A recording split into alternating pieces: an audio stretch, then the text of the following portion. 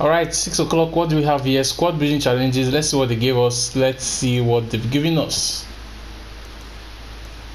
Who the hell? Tapsoba. Lauritsen. This is crazy. Okay. Tapsoba, Lauritsen, um, I think Acuna as well. That's yeah. Flashback Acuna. Center back, 94 rated. Um, two teams actually two teams. Okay 88 85 not bad not bad after all not bad. Let's see what he possesses here.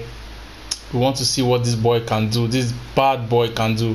Five star weak foot four star skill moves.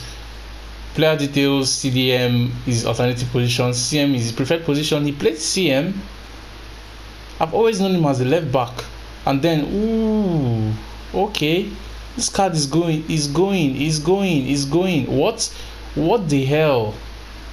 Nah, he's cooked actually. Long shot is 91, shot power is 91, um, acceleration is 91, sprint speed is 93. He's not slow. Don't even think he's slow. Shot pass is 98, long pass is 94. Very good for a midfielder. And then dribbling, crazy 95. His marks almost everywhere. Just have to remove his shooting.